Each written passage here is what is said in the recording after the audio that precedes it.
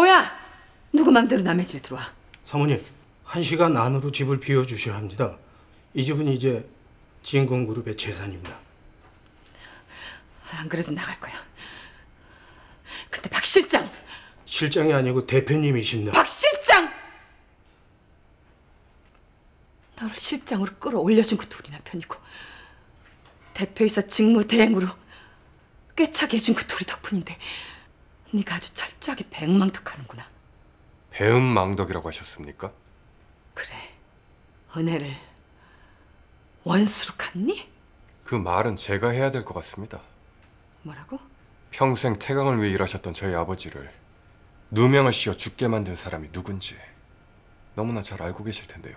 그래서 쫓겨나는 거 보려고 했니? 어서 지임나 꾸리시죠.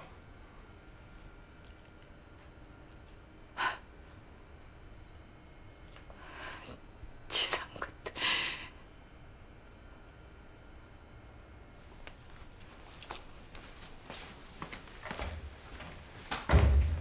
짐은 직원들이 옮길 테니까 서현 씨는 저하고 가시죠.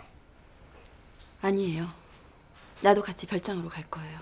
아니, 서현 씨도 별장에 가신다고요? 네. 왜요? 거긴 너무 위험합니다.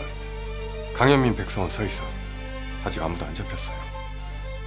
백서원은 서현 씨한테 어떻게 해서든 보복을 하려고 할 테고 강현민은 자기 어머니를 만나려고 할 겁니다.